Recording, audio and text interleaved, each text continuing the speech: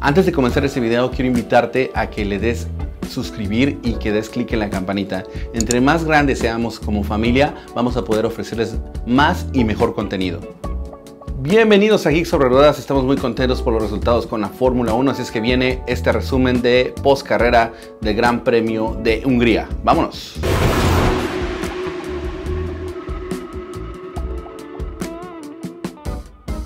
Qué manera tan emocionante de comenzar esta carrera. Más bien, antes de comenzar ya empezaba la emoción, ya empezaba la adrenalina. Nos pudimos dar cuenta que todo el panorama lucía nublado, había, estado, había llovido un poco antes de comenzar la carrera, entonces estaba comenzando a secar la pista. Salen algunos a hacer su vuelta previa de clasificación y Verstappen pierde el control, se estrella, daña toda la parte frontal y parte de la suspensión izquierda.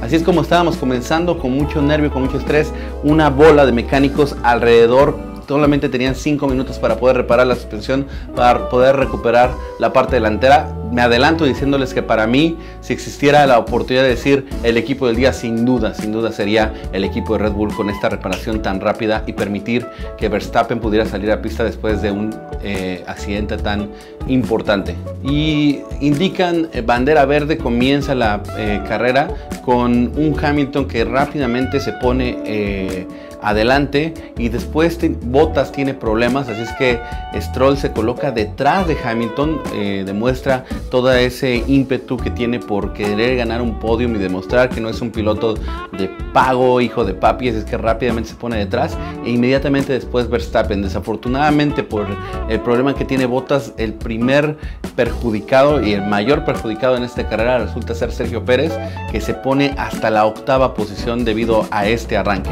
Para la vuelta 3 y 4 todos, absolutamente todos deciden quitar esas eh, gomas intermedias y se van directamente a pits para cambiar algunos por gomas blandas y otros por gomas medias, ya que la pista se estaba secando completamente y obviamente no iban a resistir estas gomas intermedias afectándoles en sus tiempos.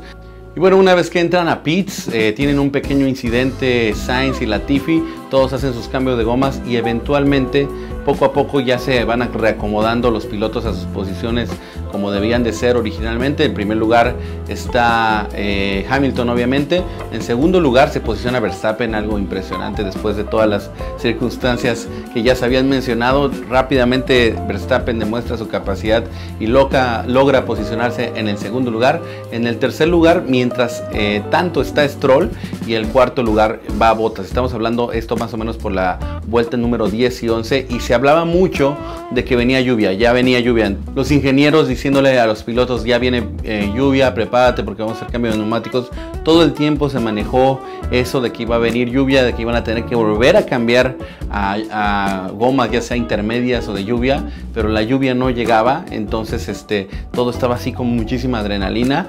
Eh, Stroll dando una cátedra de lo que puede pilotear, demostrando que, que realmente no es un piloto que está ahí por su padre, demostrando que no tiene que irse tampoco, que Vettel no tiene que sustituirlo, entonces realmente está muy muy buena la competición. Por ahí de la vuelta 34 comienza a diluirse la esperanza de lluvia, entonces ya se empiezan a aclarar más las tácticas que se iban a seguir.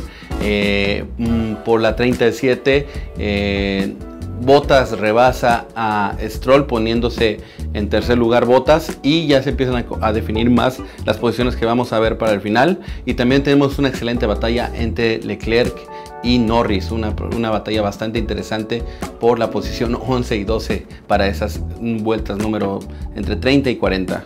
Bueno, para la vuelta 32, Leclerc y Norris nos dan un espectáculo tremendo, eh, espectáculo que obviamente termina ganando Leclerc y logra posicionarse en la posición número 13, pero el espectáculo por lograr obtener la posición era como si estuvieran peleando por los primeros lugares. ¿Quién iba a decir que Ferrari iba a estar peleando en esa media tabla entre los lugares 2 y 13 por una carrera? Pero así es como están las cosas. Ferrari desafortunadamente tiene que estar luchando por esos lugares y Leclerc demostrando capacidad como piloto, haciendo lo que puede con este carro Ferrari que no está haciendo realmente nada, que no está dando el desempeño que todos esperábamos que iba a tener en esta temporada.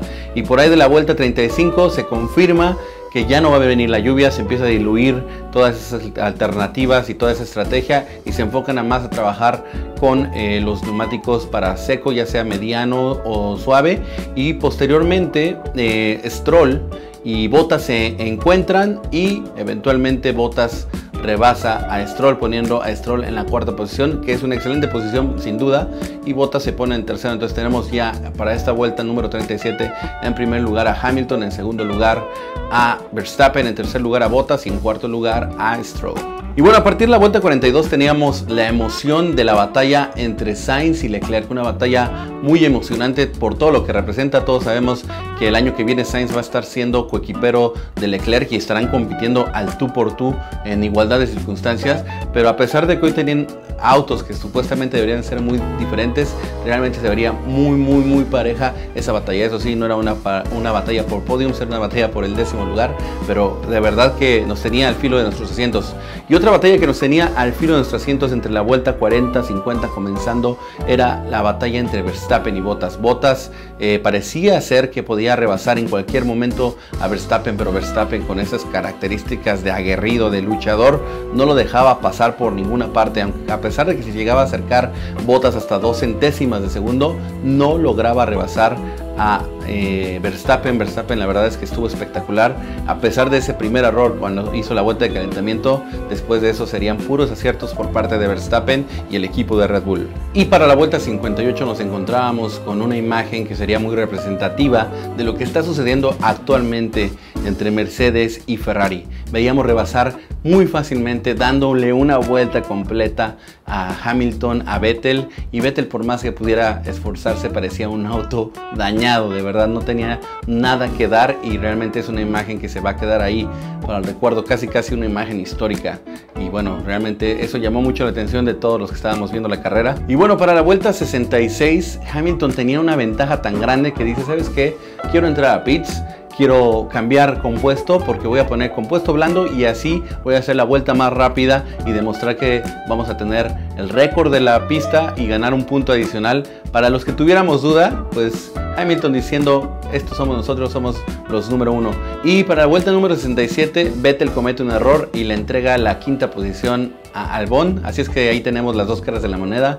Mientras que uno está demostrando toda su superioridad, otro comete un error y hasta regala la quinta plaza. Ya en la última vuelta, Bottas se tiraba con todo por Verstappen. Metía, yo me imagino, la máxima mezcla de combustible, el máximo ERS, pero ni así pudo con Verstappen que tiene unas cualidades que ya todos conocemos, de verdad, a pesar de que tuvo ese error en la vuelta de calentamiento, después de ahí les fue una vuelta redonda por parte de Red Bull y Verstappen y pues así quedaron los eh, primeros posiciones, primer lugar para Hamilton, segundo lugar para Verstappen, tercer lugar para Bottas. Tuvimos una carrera muy emocionante en el Gran Premio de Hungría y quedamos muy muy satisfechos nos prometía mucho desde el principio, prácticamente desde el calentamiento ya teníamos emoción, se veía la lluvia, no se venía la lluvia, todo eso mm, definitivamente no defraudó. Y bueno, en primer lugar quedó Hamilton, segundo lugar Verstappen con una carrera muy redonda, Hamilton Verstappen de principio a fin.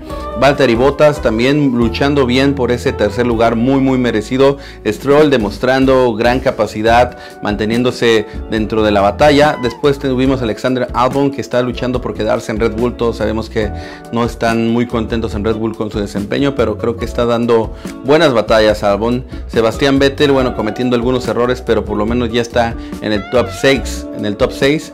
Sergio Pérez quedando en séptimo lugar, creo que después de mal arranque de botas, eh, pues quedó muy afectado. La verdad creo que nunca se pudo recuperar. Realmente este fin de semana sentía a Sergio Pérez que no tuvo un muy buen desempeño. Él mencionaba que tenía algunas incomodidades en su espalda y que incluso había tenido mareos. Quizás esto afectó en la forma de que se desempeñó en su carrera. Más atrás de él venía Daniel Ricciardo, Kevin Magnussen, la verdad creo que esta también es una excelente carrera por parte de él. Eh, creo que hizo lo mejor que pudo y el estar en noveno lugar también es muy merecido y sin duda es un gran, gran, gran alivio para Kevin Magnussen estar puntuando y además también un gran alivio para su equipo Haas que de verdad tenía mucho tiempo que no lo veíamos en un top 10. Carlos Sainz en décimo lugar peleando de tú a tú con Charles Leclerc en el enunciado lugar, una muy buena batalla lo que nos regalaron y también bueno más abajo tuvimos a Daniel Kvyat, Lando Norris también que estuvo ahí peleando pero pues se quedó más atrás.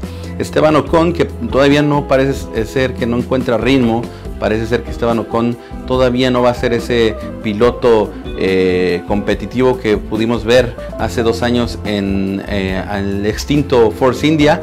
Y más atrás tuvimos a Romain Grosjean, Kimi Raikkonen, Giovinazzi, George Russell, Nicolas Latifi y Pierre Gasly.